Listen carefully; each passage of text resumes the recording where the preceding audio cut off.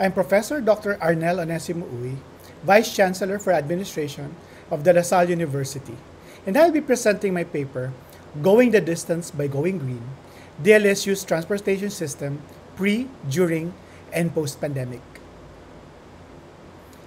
Our biggest challenge in this century is to take an idea that seems abstract, sustainable development, and turn it into a reality for all the world's people. This quote by Kofi Annan, former United Nations Secretary General, encapsulates the struggle we are now facing to continue our development whilst taking care of our environment. Guided by this philosophy, the United Nations has issued a series of Sustainable Development Goals, or SDGs, to ensure that each nation has the ability to progress towards prosperity without degrading the natural environment.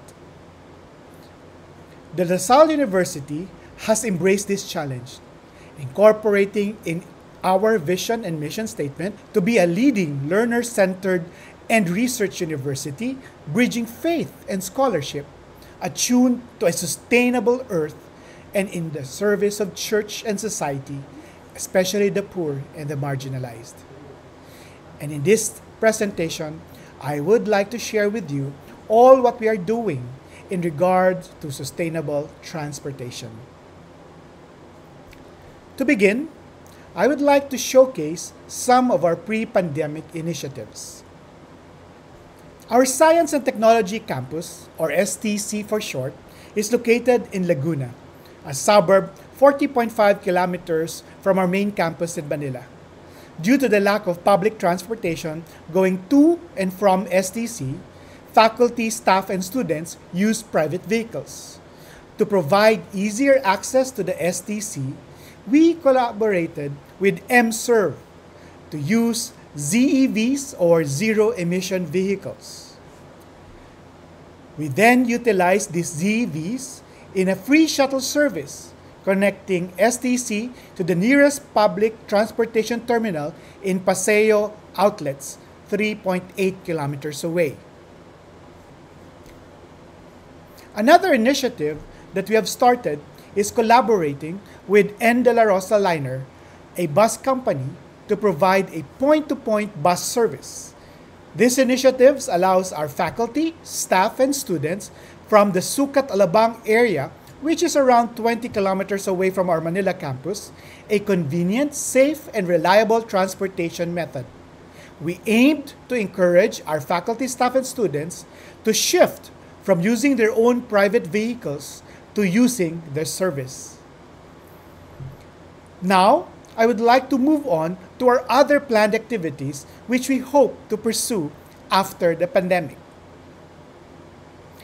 In STC, we began to encourage the use of bicycles by developing a 7 kilometer bicycle trail. We hope that this bicycle trail will help the community achieve both a healthier lifestyle and provide a more sustainable transportation method. The opening of the trail will also serve as an invitation to those who live around the area to use the bicycles as an alternative for getting on and off campus. These goals are not only for the STC, but also for our Manila campus. In the Manila campus, for instance, we planned to construct more convenient walkways to encourage walking for the community. We also planned to, for more open air facilities to lessen the use of air conditioning in enclosed facilities, which will further contribute to the lessening of greenhouse gases. To encourage the use of bicycles in the Manila campus as well, we plan to set up bicycle parking facilities in strategic areas around campus, as shown in this map. The design of the bicycle parking would look like this. One of the things that we would like to highlight in this presentation is how we are able to operationalize green initiatives amidst all the constraints.